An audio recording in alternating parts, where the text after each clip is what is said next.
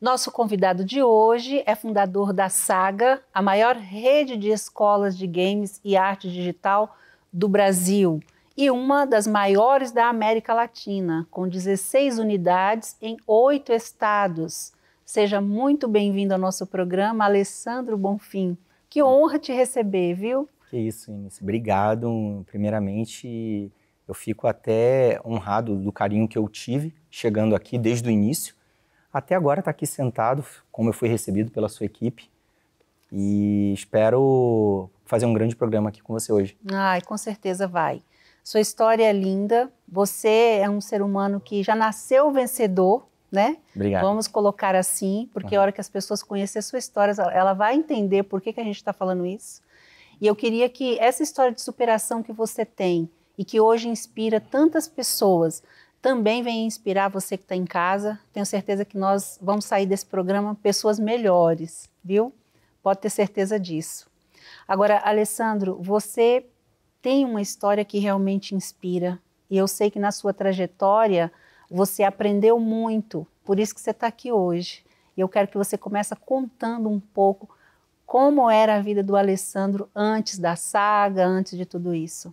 Na verdade, aos 43 anos, eu vim descobrir que eu nasci de fórceps. Então, se for lá para o meu nascimento, é, eu nasci de, puxado a ferro e eu vim descobrir isso só agora. Minha mãe foi abandonada pelo meu pai, na época, porque ela engravidou aos 17 anos. E como ela não tinha condições de me criar, ela me entregou para minha avó, me deixou na minha avó. É, minha avó morava na época na Baixada Fluminense. E minha mãe me levou para lá. Eu nasci em Pojuca, no interior da Bahia. Meu pai e minha mãe são baianos. E durante seis anos da minha vida eu morei com a minha avó. E eu tinha tudo que um garoto sonhava. Eu tinha educação, eu tinha estudava em colégio particular, eu tinha carinho, eu tinha amor. Mas aos seis anos, um besouro mudou a minha vida. É, minha avó foi mordida um por. Um besouro. É, minha avó foi mordida pelo barbeiro teve doença de Chagas, paralisou, teve derrame, paralisou o lado direito do corpo dela. E aí ela estava mal e foi quando ela não tinha uma boa relação já com a minha mãe, resolveu me entregar para o meu pai sem a minha mãe saber. E eu vim conhecer meu pai aos seis anos de idade. Até aí você não conhecia o Nunca pai? tinha visto meu pai na vida, nem foto. Aí meu pai me levou para Bahia. Chegando lá, ele tinha duas esposas, né? Ele tinha duas casas, na verdade. Ele tinha uma que já era com a mulher atual e o filho, e tinha outra que era com a futura esposa, né? Ele, meio que ele estava repetindo o que ele fez com a minha mãe na época, né? E eu não sabia disso, eu era uma criança e ele me deixou lá. Só que como a mulher já não tinha acesso a ele e ela já estava sofrendo, ela começou a descontar em mim o que ela estava sofrendo dele. Ela olhar para mim era a imagem dele e descontava o ódio em você. Tudo em mim. Toda a raiva, eu comecei. Foi quando eu apanhei a primeira vez. Aí eu comecei a apanhar, né, sofrer violência física, psicológica dela e dos irmãos dela, que ela tinha irmãos que eram adolescentes, eu era uma criança. Então você imagina você apanhar de garotos de 12, 13 anos de idade. E isso era uma coisa que foi me consumindo é, durante um tempo, até que no momento que ela, se, que ela decidiu sair de casa, que ela decidiu separar, ela me trancou nessa casa durante uma semana mais ou menos e eu fiquei sem nada dentro de casa para comer. Eu tinha uma, um pote de manteiga pela metade, açúcar que estava dentro do armário, que foi a única coisa que ela deixou, e eu, durante uma semana eu comia manteiga e açúcar, manteiga e açúcar até que de tantos gritos que eu dava pedindo ajuda, uma vizinha viu, ouviu na verdade, e foi pedir ajuda, procurou é, a família do meu pai, chegou no, no meu avô e ele me resgatou, ligou para minha mãe, né, porque meu pai já não ia mais em casa, e me levou de volta, me botou dentro de um ônibus e me levou de volta para o Rio de Janeiro. Eu sobrevivi né, essa semana que foi bem complicada para mim, porém é, eu desenvolvi uma doença né, infecciosa. Eu, eu, o meu sangue, é, eu tive uma infecção sanguínea. Meu sangue estava fraco, doente. Então, é, começou com pequenos arranhões que viravam pus, até que começaram a nascer furúnculos. Então comecei a ter furúnculos em várias partes do meu corpo, até na cabeça. E eu lembro que na época ele até raspou minha cabeça. Eu já cheguei na minha mãe magro, mais magro do que eu já era, com várias feridas pelo corpo. E aí eu iniciei um tratamento que eu não podia comer nada com sal e eu tomava uma benzetacil toda semana. Às vezes nem era toda semana. Eu acho que era no intervalo de quatro, cinco dias eu tomava uma benzetacil. E no começo ela até brincava. Você quer do lado direito ou do lado esquerdo, né, enfermeira? Chegou num momento que não fazia mais diferença. Doía tanto, os dois lados já estavam destruídos. E essa sequela minha mãe resolveu durante um ano e meio. Ela já estava casada com um outro homem que era o, o, marido, já, tava, já tinha um filho com ele.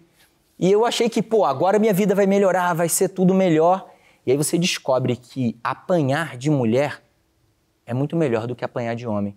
Que aí você começou a apanhar do Porque padrasto. aí foi quando eu conheci o meu padrasto. Na verdade, eu fui conhecer ele não no Rio de Janeiro, quando o meu avô me levou lá para minha mãe. Eu fui conhecer ele no Acre, porque ele era militar. Ele era sargento do exército, ele estava no Acre, que ele foi transferido, e eu fui morar com eles no Acre. Moramos cerca de um ano, mais ou menos, um ano e meio no Acre, no máximo. Mas no começo foi uma maravilha, ele me recebeu, eu lembro até hoje, o presente que ele me deu foi um CCE, porque era do lado da Zona Franca de Manaus e eu ganhei um videogame, então eu imaginei, caramba, agora eu vou ter um pai. Foi o primeiro contato que foi você teve. Foi o primeiro contato, com né? videogame também, E né? foi o meu primeiro contato com videogame. E era uma coisa maravilhosa, porque você... Eu estava em busca de uma figura paterna.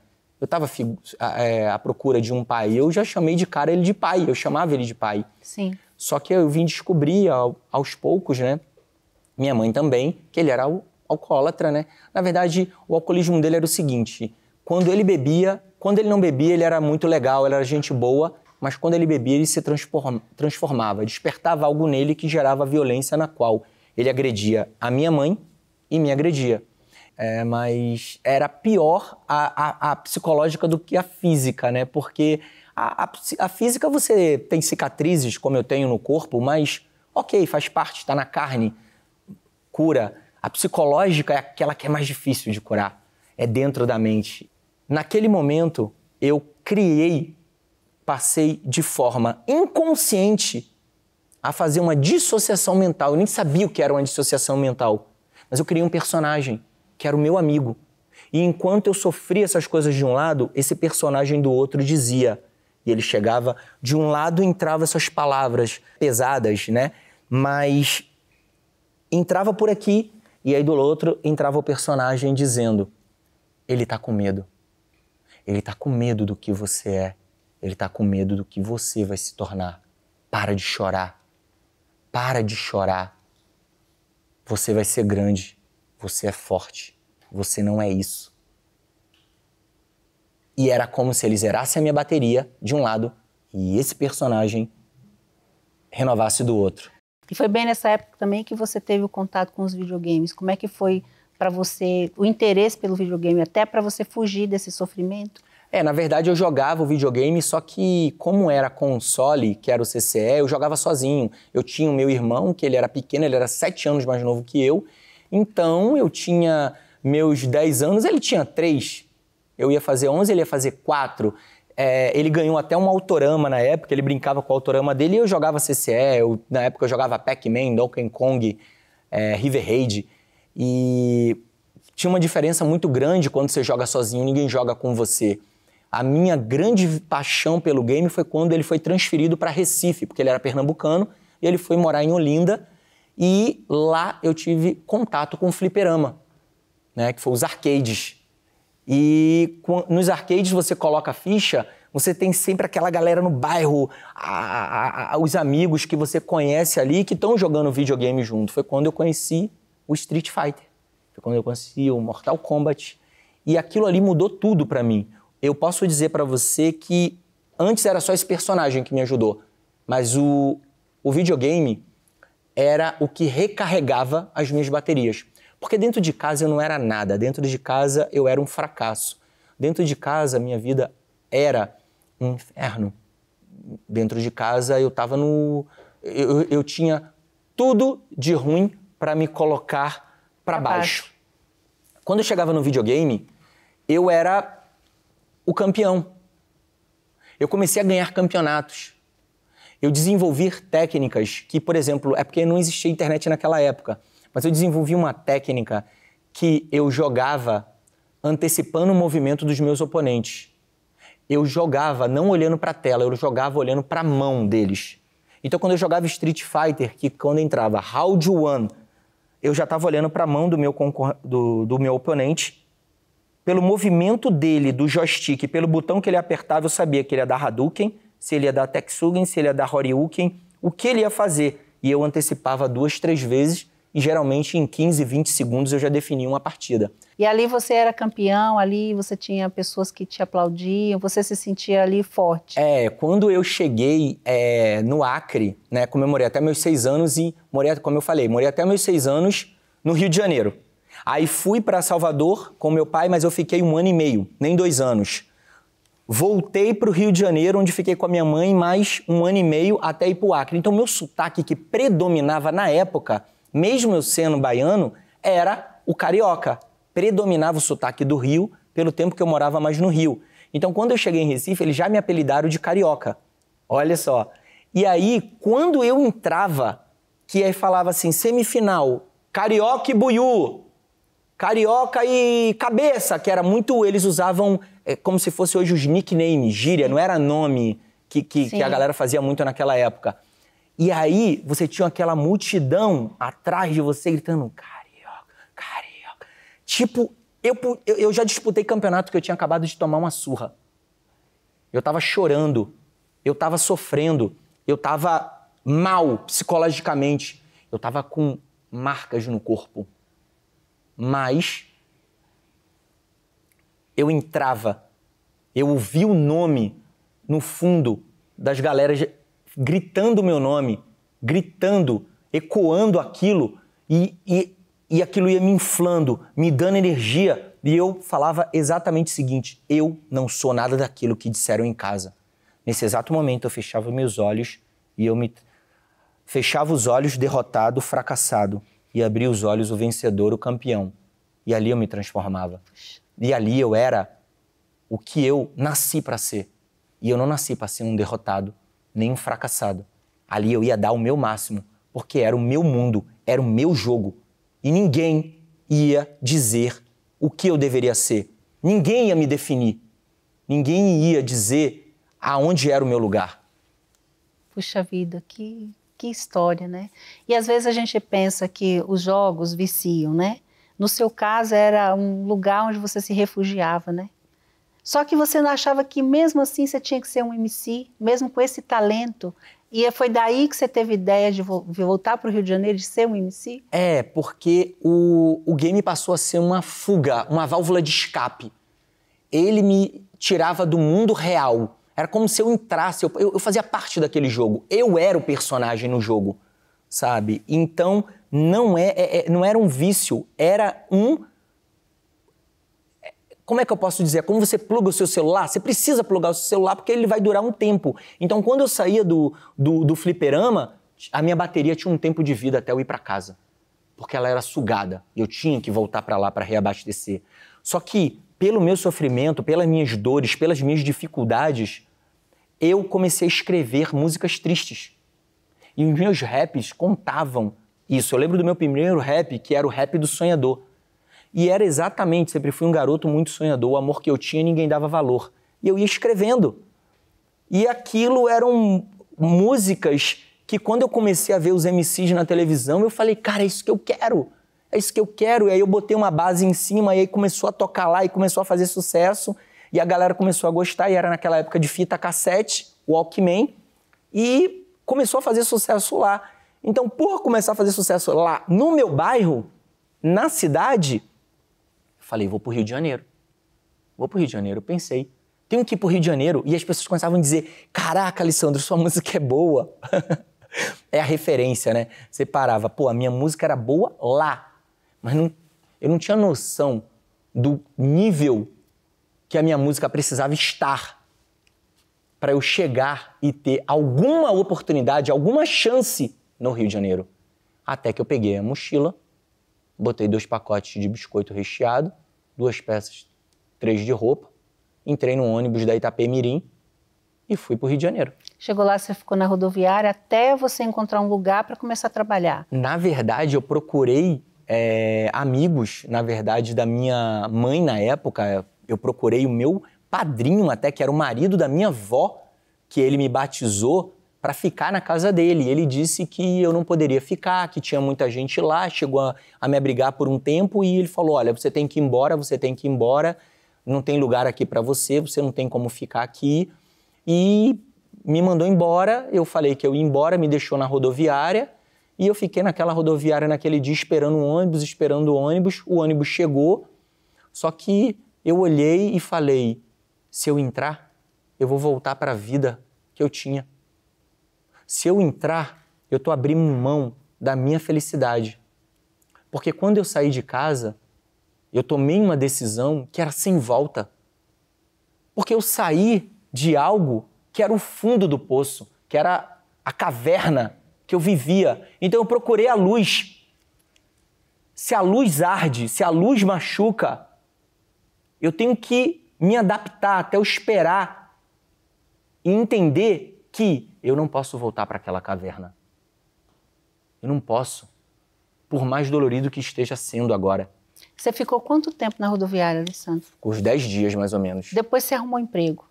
Comecei a trabalhar primeiro, pra, no tempo que eu fiquei na rodoviária, para comer eu lavava táxi, para o pessoal comprar minha quentinha. Então, um taxista ou outro, eu ia lá, lavava o carro dele e comprava quentinha para mim. Às vezes dois, três, porque é, você não tem como escolher, eu precisava comer, então era o dinheiro da quentinha, era um biscoito, era alguma coisa. E aí depois eu arrumei um emprego de faxineiro, lá no centro do Rio mesmo. E aí, é, antes disso, na verdade, eu indo nos encontros de MC para divulgar minha música, eu conheci um MC e ele, contei minha história para ele. E ele pegou e me chamou para morar na casa dele, que era no Morro do 18, que era próximo ali da, do Meyer Água Santa, um bairro que tem até um presídio próximo.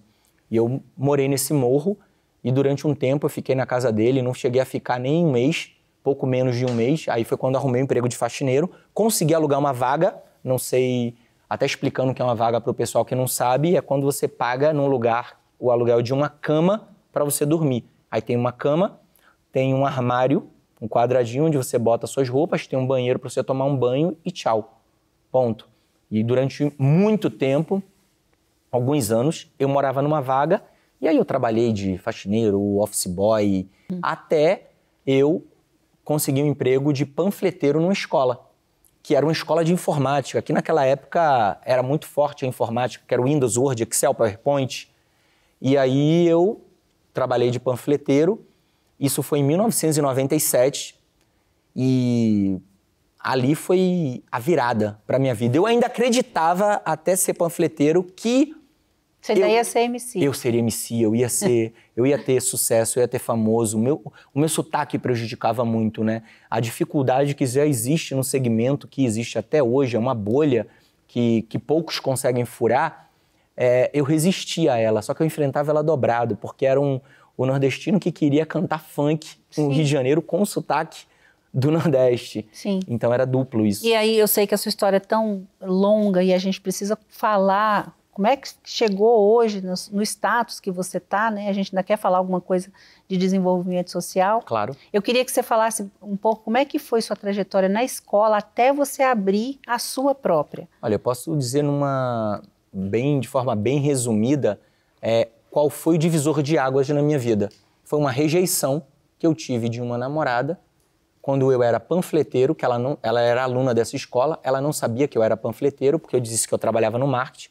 Até porque eu não deixava de ser marketing, a panfletagem, sim. mas era a forma de eu é, é, é, não deixar ela saber que eu trabalhava na rua distribuindo aceito, panfleto, né? é ser aceito, sim. ser reconhecido, porque até a família dela ela é de classe média, então como é que aquilo ia ressoar? Como que aquilo ia, é, como que aquilo ia soar, na verdade? Como que aquilo ia bater no ouvido deles? E durante um tempo, como eles não sabiam, eles me aceitaram.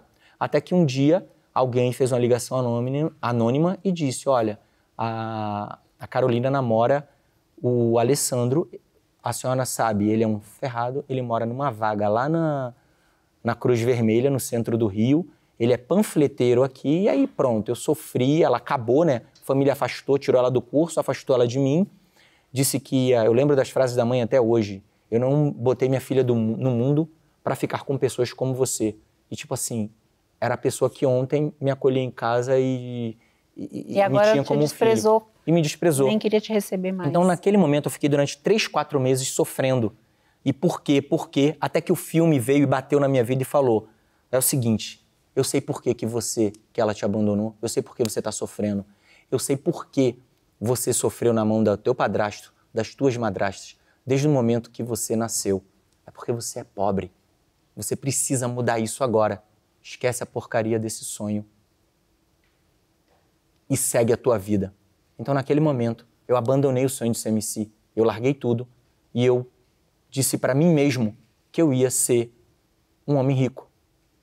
Eu disse que eu ia mudar a minha história. Eu decidi que nada daquilo ia me afetar mais. Então, no período de 97 até 2001, eu escalei sete cargos na vertical. Então eu saí de panfleteiro para bordador, pesquisador, vendedor externo, vendedor interno, gerente comercial, gerente geral. E em 2001 eu comprei a escola deles e com mais dois sócios fundei a minha. Que é, não era a Saga ainda. Não, era um nome antigo que era AIS. Sim. Com, com mais, é, na verdade era mais um sócio que depois veio entrar outro. Nós dois compramos a escola deles, fundamos o que é hoje a Saga e ali foi a mudança geral. Acabou o negócio do MC. Naquele momento eu ia ser um homem de sucesso. Eu ia ser um homem vitorioso. Entendi. E aí, dessa trajetória toda, você chegou a CEO da Saga. Queria que você falasse um pouco como é que está o Alessandro hoje, como é que é a sua vida, o seu lifestyle hoje, só para a gente situar e ver a mudança que houve. É, em 2001 a gente abriu na época que era Windows, Word e Excel, né? E olha que, que engraçado, enquanto a gente tinha ali grandes players na época que ensinavam isso, a gente eu olhava e eu falava não é isso que eu quero, não é isso que eu acredito. E, e aí a gente foi quando começou a inserir a computação gráfica. O diferencial foi quando a gente inseriu a, a, a computação gráfica no momento em que o pré-requisito para contratar, o pré-requisito para se trabalhar era o pacote Office. Mas a gente acreditava que em pouco tempo isso ia tornar uma coisa tão obsoleta, tão básica, e eu comecei a ouvir meus sentidos, ouvir os meus instintos. E aí, olha que engraçado, o que era um hobby, o que era um escape, virou o meu sonho. Eu transformei esse curso de informática numa escola de computação gráfica, eu transformei essa escola de computação gráfica numa escola de desenvolvimento de jogos. Hoje é muito fácil você falar de games porque o mercado de games é enorme, é maior do que a indústria de cinema e de música juntos. Mas antes as pessoas perguntavam: você ensina o que? Game? A jogar videogame? O que, que é isso? Não existia. A gente foi pioneiro. Então hoje a Saga é a maior escola de computação gráfica e desenvolvimento de jogos, não do Brasil, mas da América Latina. Nós temos 16 unidades pelo Brasil. Só em São Paulo nós temos 9 unidades. Olha só. E nós formamos profissionais de sucesso. Nós formamos alunos que, se você chegar e, e, e perguntar para cada um deles, cada um deles tem hoje o que o Alessandro tinha ontem: um sonho. Então, a realidade deles é o que nós vivemos. Nós trabalhamos o sonho e ajudamos, nós somos a ponte que ajuda esse jovem, essa pessoa a chegar no sonho dela.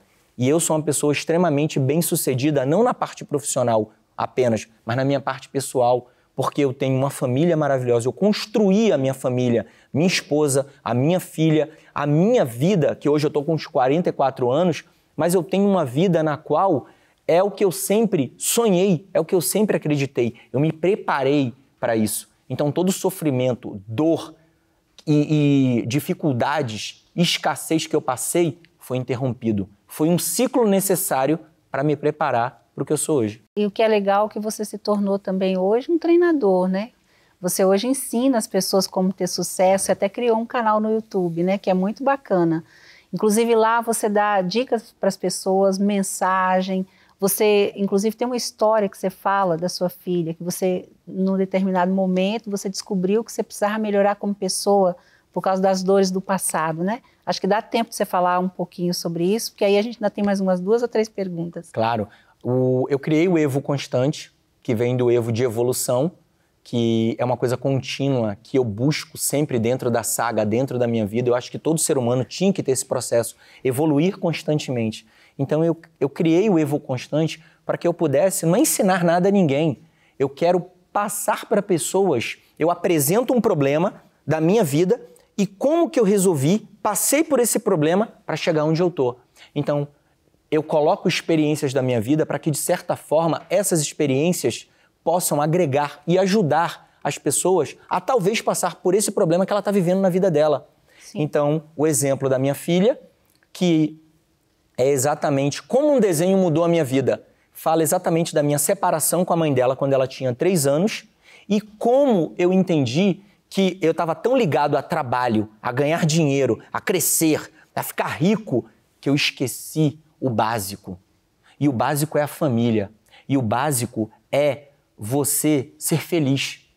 Porque não importa o dinheiro que você tem, você não, não precisa esperar as coisas ficarem menos difíceis para você decidir ser feliz.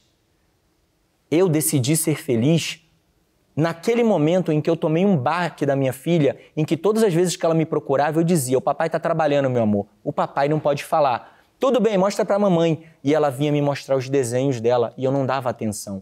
Até que no final do ano, quando teve a apresentação das escolas, ela teve lá todos os desenhos dela apresentando e tinha o vovô, a vovó, a mamãe, o cachorro do o auau do moço, o auau da moça e não tinha o pai. E quando eu perguntei, cadê o papai, meu amor? Ela disse, o papai tá babaiano. O papai tá em São Paulo. Que era todas as frases que eu dizia para ela. Então, naquele momento, naquele momento caiu uma ficha que falou assim: "Acorda, sai do modo zumbi.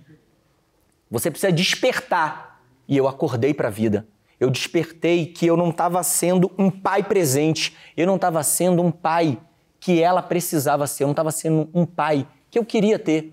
E aí eu olhei, eu não podia mudar o passado, mas eu podia olhar para ele de uma forma diferente para poder fazer o meu presente melhor e um, construir um futuro melhor. Então eu aprendi que a primeira decepção masculina de uma mulher é o pai. E eu precisava ser o herói da minha filha.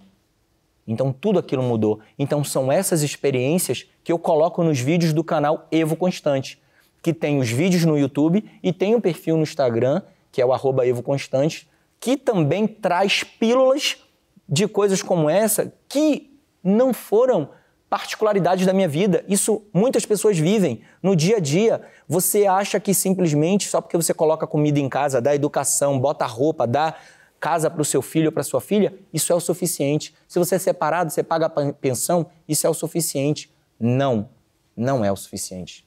Tem que cuidar, tem que estar presente. E é nesse primeiro ano, primeiro momento da vida, né? Até os oito anos, então, é fundamental. Total. Né? Porque no começo, né, você ainda tem é, é, como trabalhar a personalidade, o desenvolvimento da personalidade e o caráter do seu filho. Depois é juntar as mãos e pedir ajuda para Deus. E pedir ajuda para Deus, verdade. Agora, Alessandro, vamos falar de um assunto que arde nos nossos corações, que é a responsabilidade social. Uhum. Que é um assunto nosso aqui no programa Ressoar, e eu sei que você pratica isso na sua vida e também nas suas empresas, né? Que, que você faz lá? Qual a importância que você primeiro diria da gente se envolver com projetos sociais que transformam vidas? É fundamental você ajudar as pessoas, porque existe um filósofo britânico que fala, que é o Beda, que os três passo, passos para o fracasso é não ensinar o que se sabe, não, faz, não fazer o que se ensina e não se perguntar e não perguntar o que se ignora. Olha só. Então, se você sabe algo, se você aprendeu algo de valor na sua vida, é muito importante para você passar isso adiante. Mas é mais importante ainda se você pratica o que você fala. Se você entrega o que você vende. Se você faz o que você mostra. Porque senão você está se tornando um grande fake. Isso se chama incoerência ética. Sim. Você está iludindo as pessoas com algo que não é real. Sim. Então é fundamental você ter uma visão do próximo. É fundamental você praticar empatia. Porque não interessa de onde você é, não interessa de onde as pessoas são. Não ache que de dentro do seu condomínio, da sua casa, do conforto, da sua segurança, você está livre e isento do que acontece com uma criança no interior de qualquer cidade. Porque um dia o destino vai ligar vocês, como está nos ligando aqui agora. Verdade. É interessante e a gente tem que praticar, inclusive viver isso, né? Isso é maravilhoso. Claro. A gente está chegando ao final, é uma pena, a gente ficaria aqui o dia inteiro, né? Mas Não, vamos marcar novamente para a gente aqui. continuar. É, eu queria pedir para você dar uma, deixar para as pessoas uma mensagem. Você já falou muita coisa bacana é, e já queria te agradecer desde já pela presença, foi muito bom. Mas eu queria que você falasse para as pessoas de casa, é, deixasse uma mensagem para quem agora está precisando ouvir, né? Está precisando sair de um estado que às vezes não está muito confortável Claro. e precisa encontrar essa força que você falou aqui. Tá bom. Deixar uma mensagem então aqui, é, como eu falei, de algo que eu pratico. Primeiro, eu deixar uma pergunta e que eu vou responder. Se pergunte qual é o tamanho, qual é o seu tamanho? Qual é o tamanho que você acredita que você é? Nunca deixe os problemas serem maior que você. Nunca. Eu acreditei num sonho que ninguém acreditou. Eu acreditei num sonho que até a minha própria família duvidou. Obrigado. Fiquem com Deus. Eu que agradeço, foi muito bom, viu? Parabéns pela sua história. Que Deus continue te abençoando, que você seja realmente luz para muitas pessoas que precisam ouvir sua história, viu? Tá ótimo. Muito e a obrigado. todos de casa, muito obrigada pela audiência e até o próximo domingo.